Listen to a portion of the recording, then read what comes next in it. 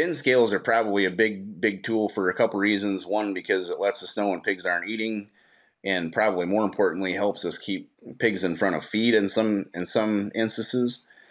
Um, you know, also some of the the sound technology of listening for cough and some of that's you know became more available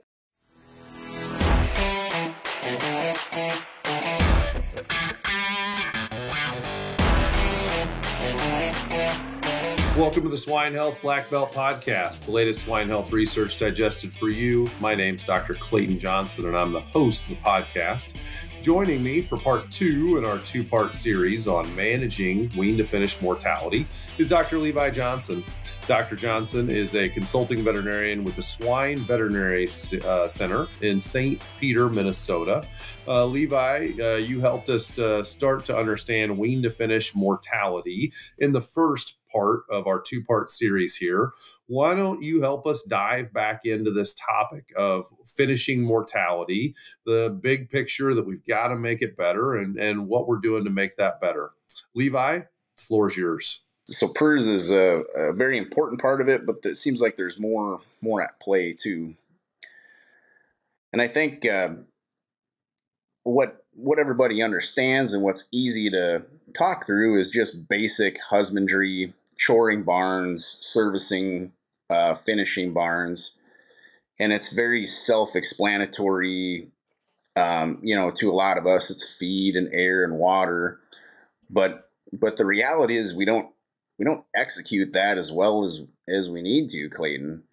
And you know, the feed outages that that realistically occur are still more than they should be, and and just keeping an eye on the pig and listening to the pig if they get sick or cold. Um, one paradigm that that's probably hurt finishing a lot for a long time is that everybody knows and recognizes that that should be a that should be an easier, less hands-on phase of production than nursery. And so, in veterinarians, and I'm just as guilty of that too, but we like to focus a lot of effort and time on on nursery pigs because that's that's a more critical animal typically. And uh, and so we focus a lot of our efforts you know on the nursery production which is is rightfully so. We can impact mortality on that turn and and make a lot of difference. But sometimes a unintended side effect of that is that we're just not getting in in finishing barns enough. And i'm i'm speaking for veterinarians i'm speaking for um, just service staff and producers, you know, do we really have our eye on the ball as well as we should on these pigs that are worth the most money that we've invested the most money in? And then finally, uh, you know, the the very last step of the piece of the puzzle, just on marketing, on you know, animal handling and um, getting the right pig out the door, and and all those those types of things too. So I think I think that's a lot of um, a lot of the opportunity. Honestly, is just making a, a concerted effort, and sometimes the investment in in people to to keep looking at that finishing pig and finding opportunities because because I promise you they're there. Um, they're there for I think everybody at at some level, and so that's uh, you know from a high level I think that's that's just things we need to, to keep um, getting in those finishing barns and keep, uh, you know, working on day to day things. At Essential Ag, pork production is our life. We understand the real world challenges producers face, and that is why we strive to bring research driven solutions to the industry. The team at Essential Ag is working hard every day to find and deliver innovative technologies to you because we are passionate about solving your problems we live in a world of very limited resources unfortunately you know vet time service people time you know to i totally agree with what you're saying. More time in those finishers is warranted. Um, have you seen anything levi technology wise that allows for kind of remote monitoring for lack of a better term to try and help identify in those finishers you know when you're not there is a have you seen anything with controller systems or you know um, uh, bin scales stuff like that to give you feedback about what's happening in the barn cameras Um, you know, even when you're not physically there. Anybody do anything unique there that you think is worth highlighting?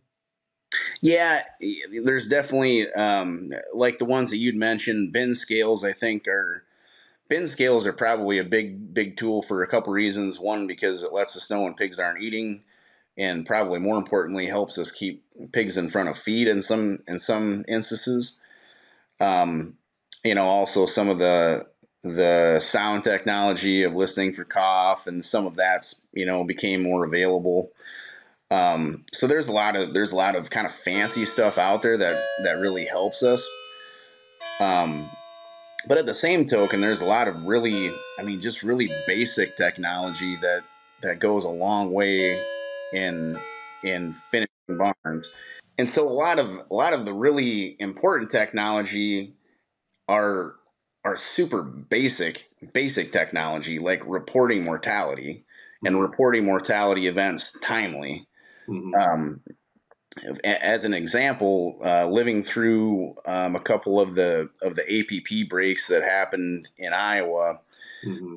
the the value of a of timely uh, timely reporting of a mortality event was the difference between you know truckloads of pigs that might have lost in that acute disease outbreak in the in the APP um, serotype 15 breaks that that occurred there. Um, and that that's a drastic example, but mortality, um, mortality documentation and reporting, water usage documentation and reporting, and now with some of our systems where we can remotely, excuse me, now some of our systems where we can remotely look at water consumption on say a Maximus or an Edge. Uh, that gives us more more opportunities for for different people to be able to catch that um, and I think there's some opportunity to make sure we do capitalize on on some of what we own in in barns because we can really find a lot of things on on water consumption. And in practicing in Iowa and Minnesota, um, one thing that I talk to producers about and probably will be nonstop for the next six months is are we are we really paying attention to those low temperatures?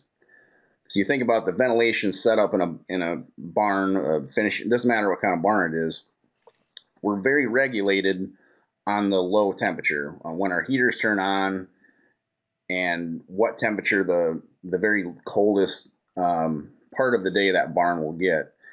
And and there's a lot of opportunity and and just having the people on the on the slat, the people that are seeing pigs every day, having them aware of what what are the ditches on high low temperatures, especially that low one. Mm-hmm. Because how many times you know do you go into a, a, finishing barn and you see low temperatures that are you don't even walk in the barn and you know that something was wrong. The heater didn't work or the curtain was down or something.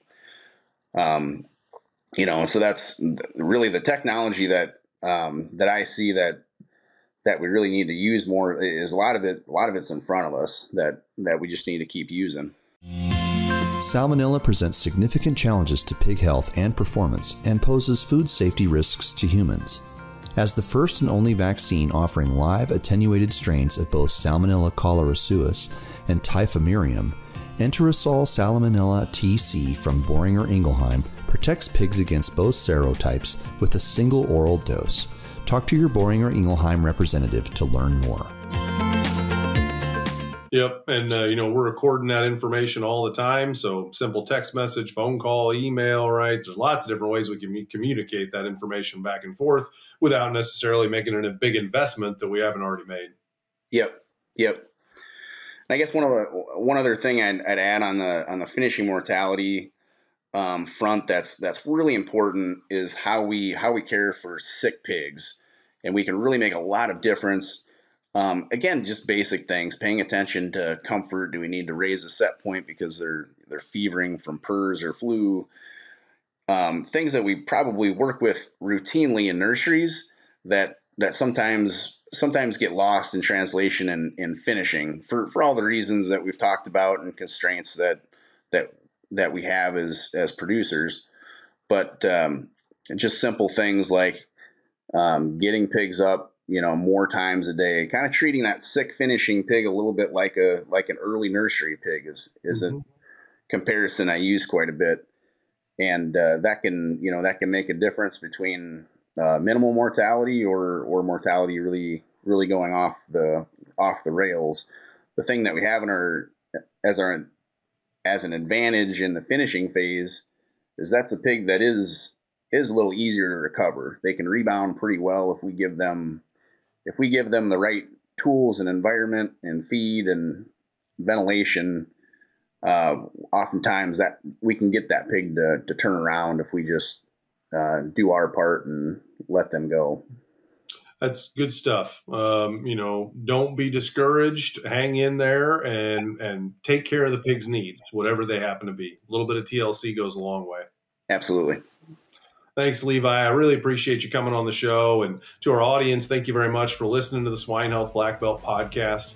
Please visit us at swinehealthblackbelt.com. And don't forget to subscribe to the podcast so you don't miss out on our next episode. For Dr. Levi Johnson, I'm Dr. Clayton Johnson. Thanks for joining us and have a great rest of your week.